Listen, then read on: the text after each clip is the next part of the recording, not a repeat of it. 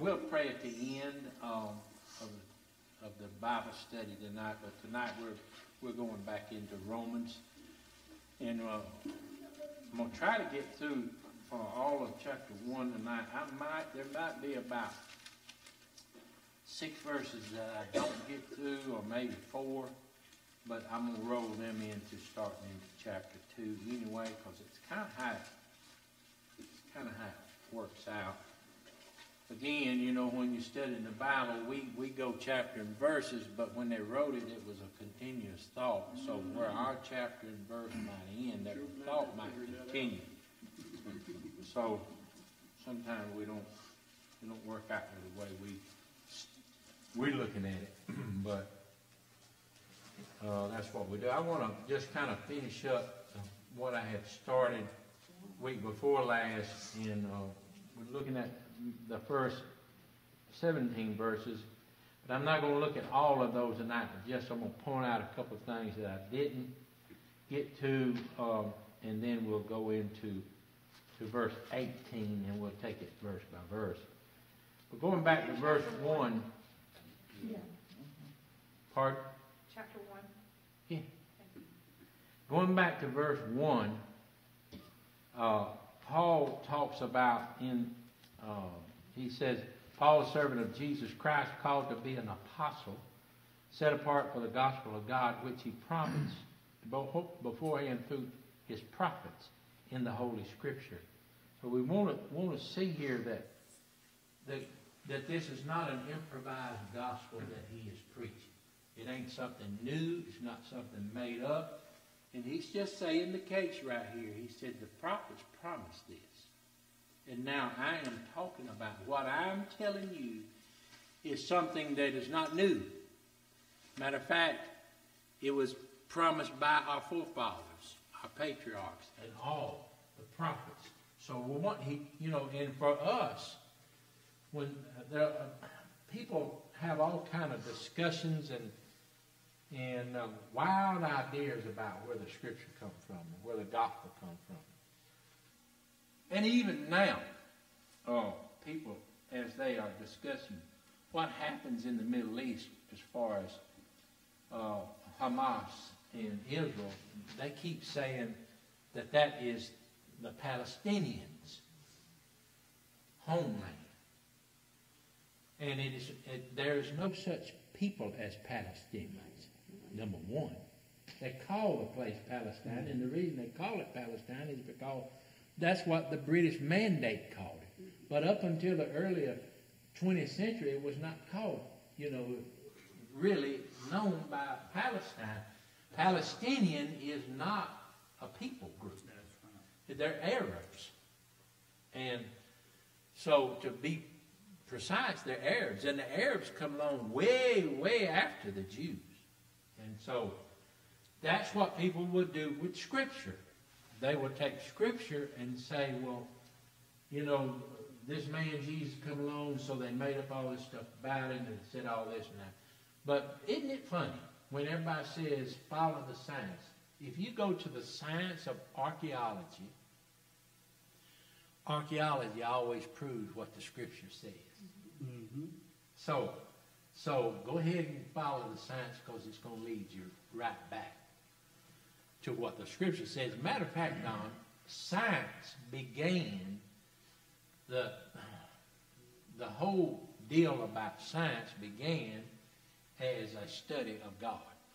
It wasn't to disprove God.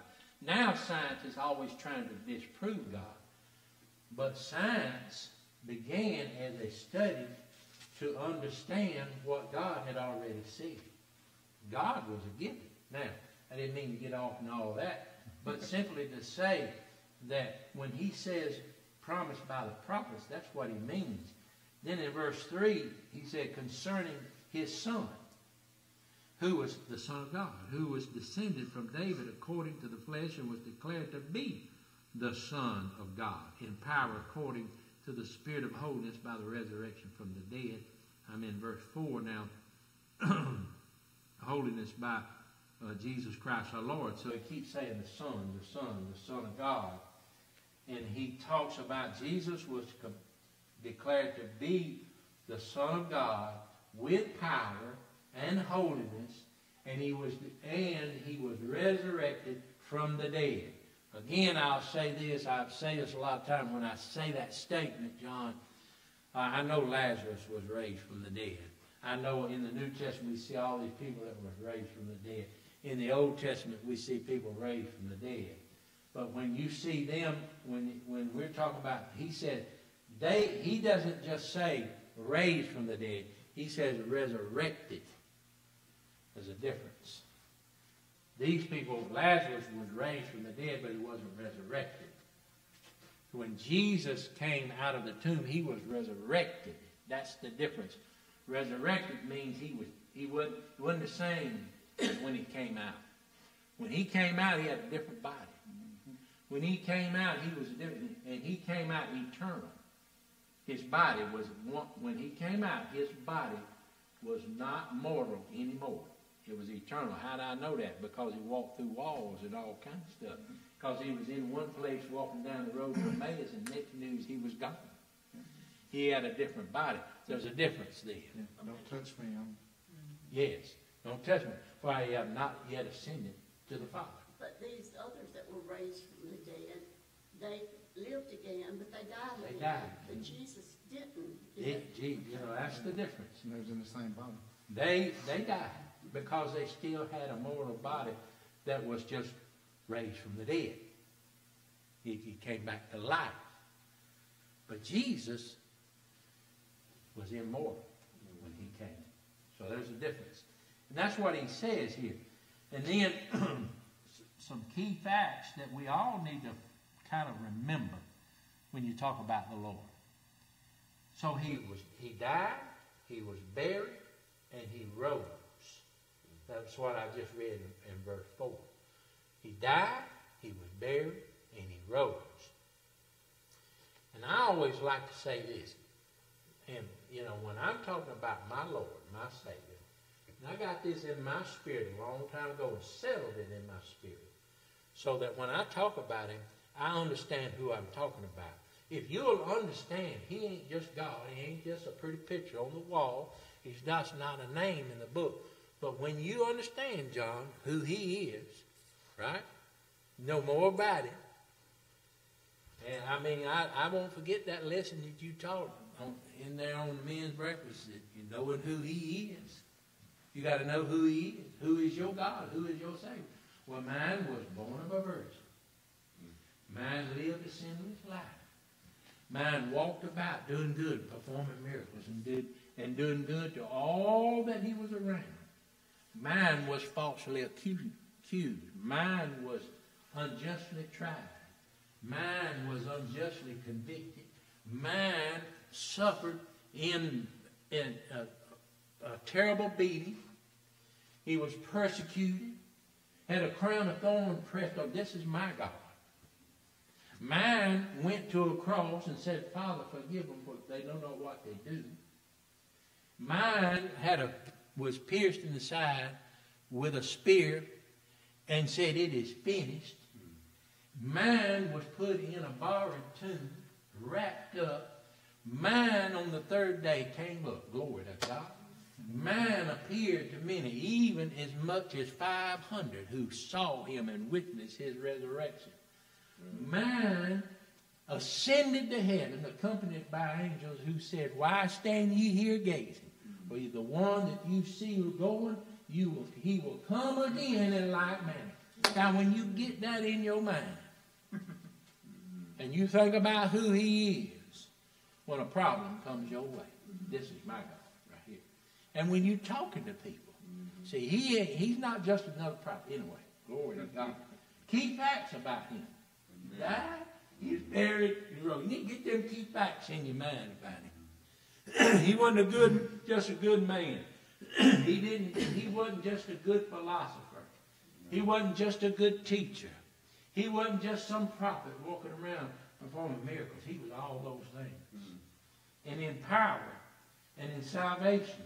in verse uh, uh, 16, he said, For I am not ashamed of the gospel, for it is the power of God for salvation to everyone who believes, to the Jew first, mm-hmm. and also to the Greek.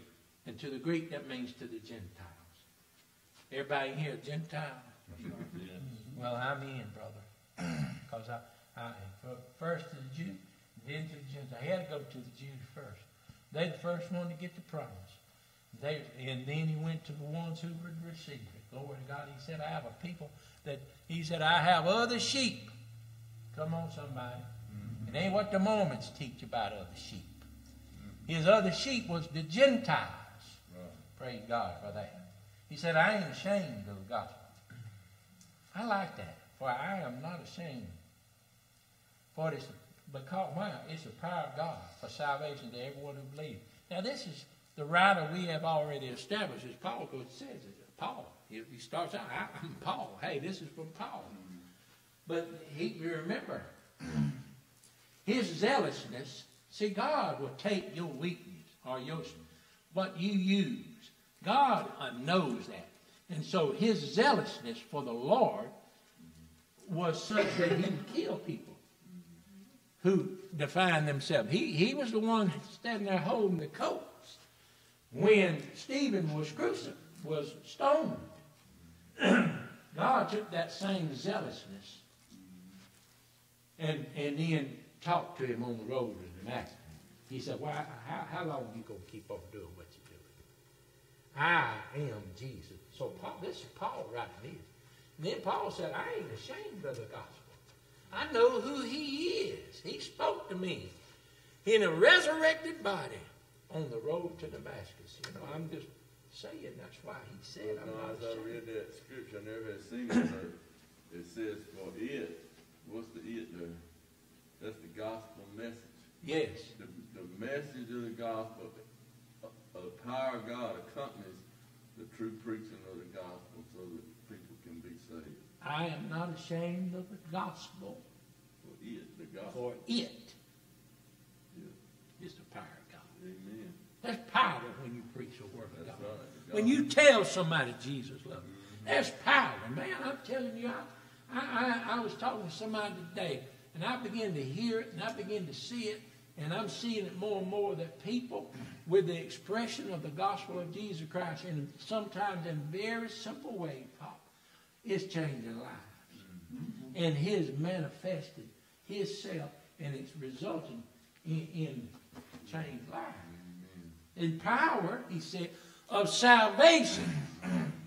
A lot of folks need to be saved. I need to be saved. We all need to save because we all sin and come short of the glory of God. We'll see that when we get over to Romans chapter 3.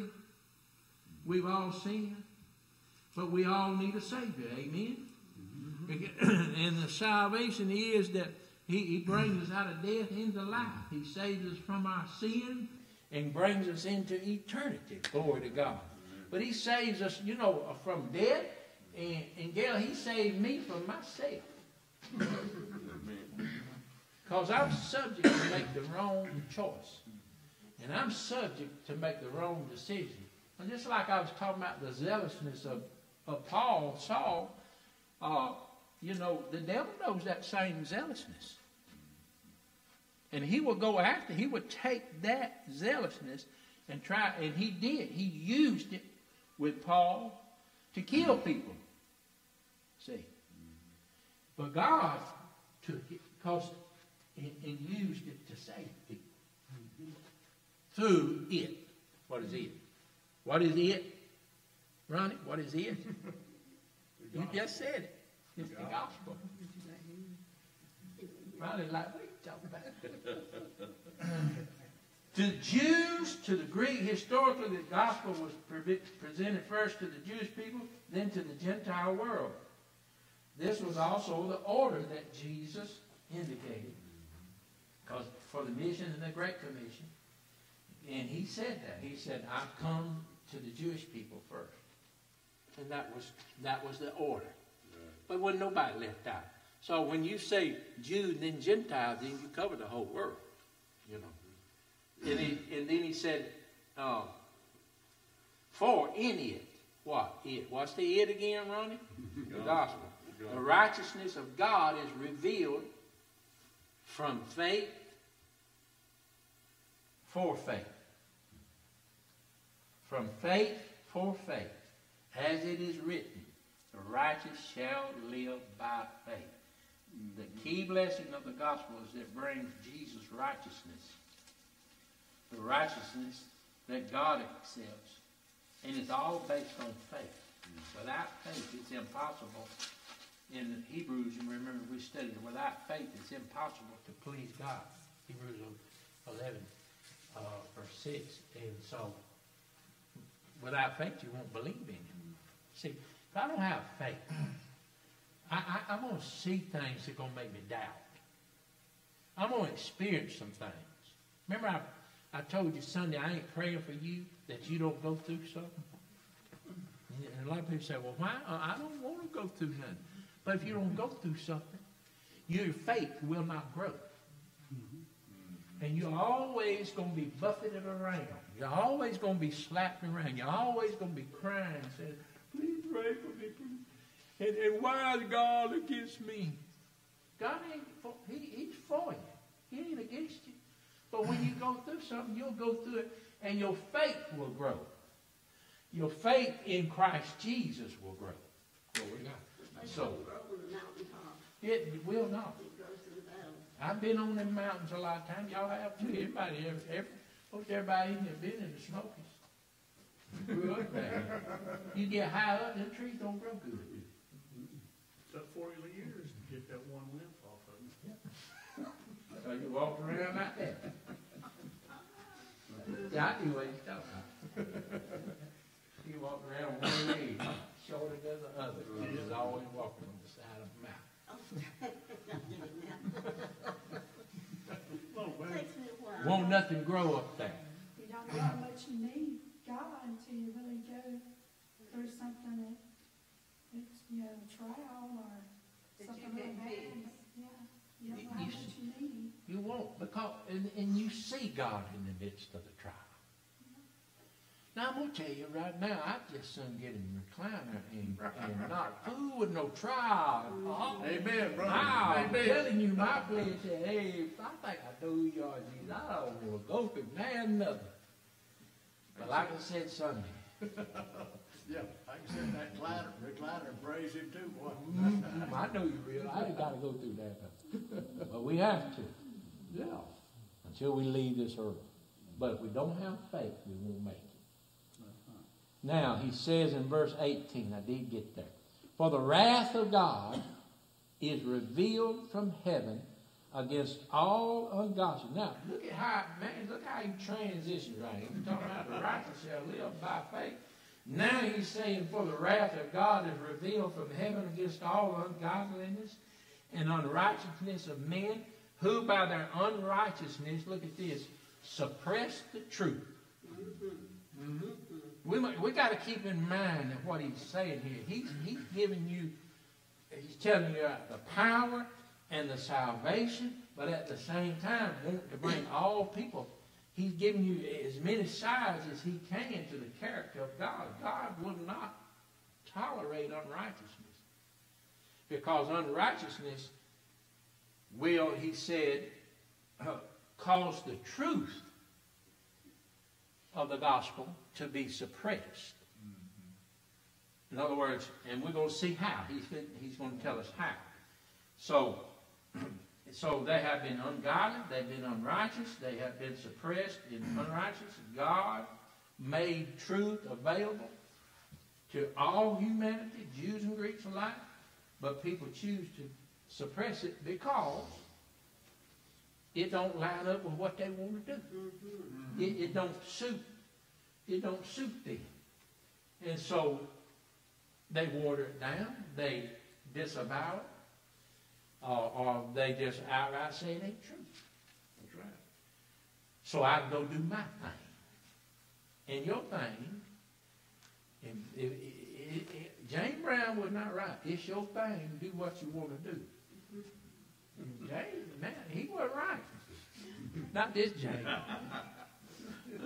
Y'all know what I'm talking about. Wow, it's your thing. Yeah. Mm-hmm. You're going to do your own thing. Mm-hmm. And then you'll have your own God. Mm-hmm. We're going to see that. So in verse 19, he says, For what can be known about God is plain to them. because God has shown it to them. Hear that. That's all creation. And look at verse 24. His invisible attributes. Now, I'm reading out of the ESV, so it reads a little bit different than probably your translation. Namely, his eternal power and divine nature have been clearly perceived ever since the creation of the world in the things that have been made, mm. so that they are without excuse. In other words, mm. what he's saying, if you walk out and look at God's creation, if you could see tonight, which you can't because it's cloudy and rainy, and you just go up and look at the heavens.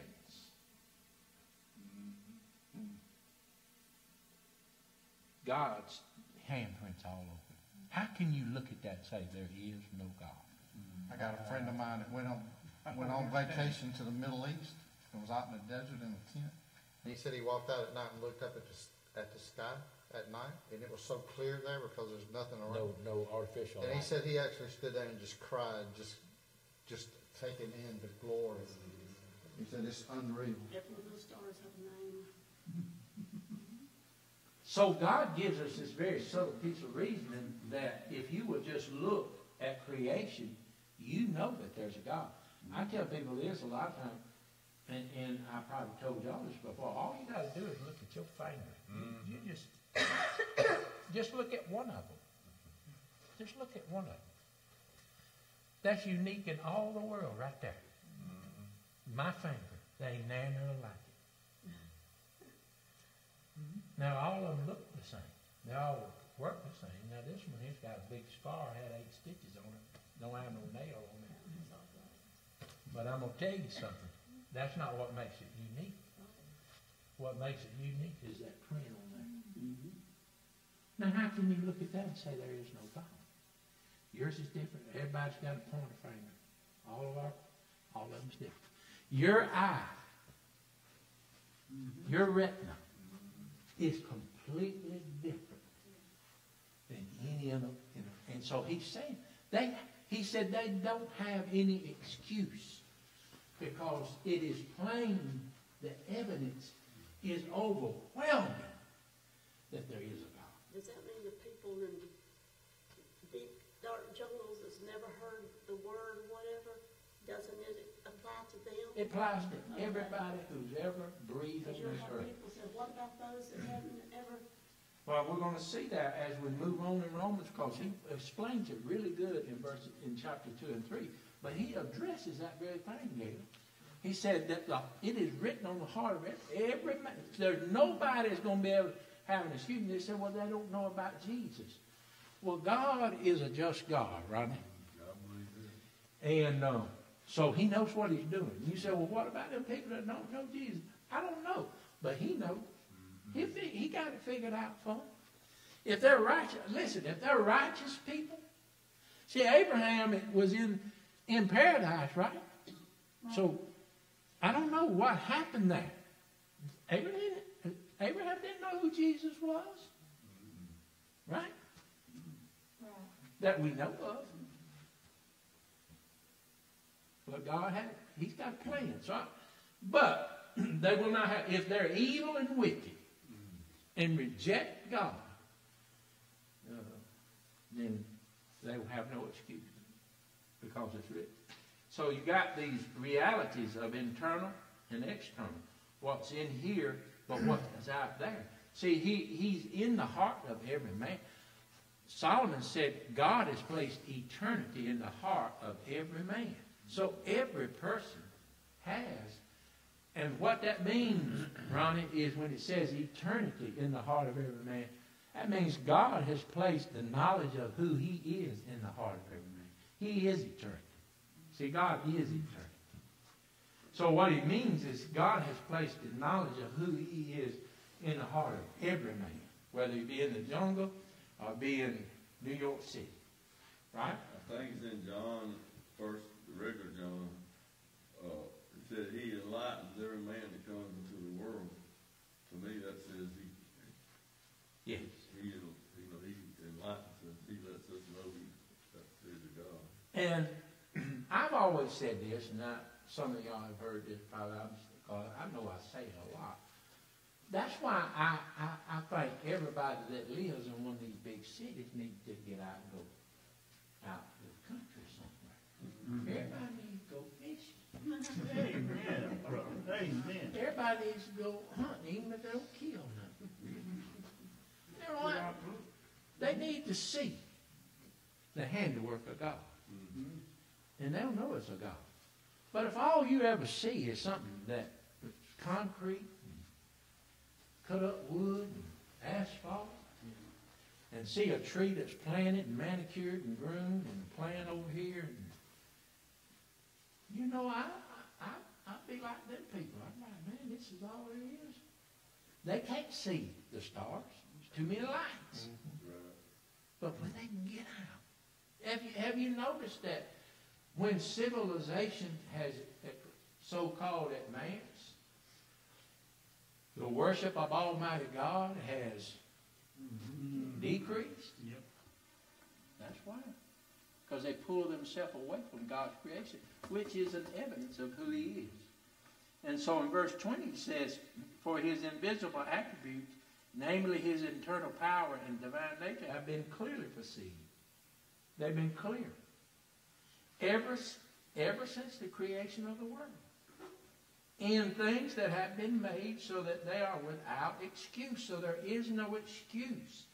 Paul says, God made the truth about himself available to all men everywhere from the creation of the world and in his eternal power. So the two parts I've already discussed, these two attributes, they are clearly revealed, okay, about him. His eternal power and his Godhead. It is clearly in nature. The glory in Psalm 91, verse 1 and 2, I won't go to all those things, but he lists four ways that creation demonstrates God's existence and his attributes. In, in Psalm, in verse 1, it says his glory and his handiwork, the heavens declare, is what it says. The heavens declare, and his handiwork. And in verse 2 of Psalm 91, he, he, he talks about how he speaks and how of, of his knowledge. So all of these things have been demonstrated to all mankind. Now, when we get into um, when we get into verse 26, 26 we're going to see a result, and we're not going to get there tonight. We're going to see a result of what happens when people reject Uh-huh. We're seeing that. the very knowledge of God. and and and I will tell you this, okay? And then I will stop. In Deuteronomy Deuteronomy 4, Moses warns not to fall into sin by worshiping and serving the sun, the moon, the stars, or all the starry host of heaven. And that is exactly what mankind has always done. In other words, they worship the creation because it is wonderful and mighty. Yes. The sun, they, I mean, and they understood that, you know, our energy is provided by the sun. However, God created the sun. And the light doesn't come from the sun, light comes from God. Now they, in the heart, in the heart of every man, that's a truth. But what they have done is they've looked at the sun and said, let's worship the sun. Let's worship the cow. Or the bull. Or the ram. Or the goat. Let's worship some emperor, some man who looks like he's really smart. Let's worship a tree. Isaiah. And man, I preached on this one time in Africa Uh, about Isaiah, or I believe it was Isaiah. He said, You go out and you find a tree. And he said, Now you cut the tree down. Just kind of paraphrasing, you know. He said, now you can, you can make something with the wood. You can use it to cook with. You can use it to build a house with. You can use it to warm yourself with. But you choose to take it and carve it and bow down and worship it. A piece of wood is what I say. Mm-hmm. Now that's foolish. When you look at it that way, it's very foolish, isn't it? So right now we got people that want you to starve to death so that a frog can live. Mm-hmm. a salamander. A salamander can live. So you're going to go cold because we ain't going to dam it up and we ain't going to have enough power. Are you hearing? All of this stuff is worshiping the creation. And again, and, and, and this is how dumb we are, right? Because uh, I didn't get to it, but he said, he said that, you know, I'll talk about, I'll recap it next week, but he said, considering themselves wise, they become fools. That's what he said right here in, in chapter one. How foolish then is it for us to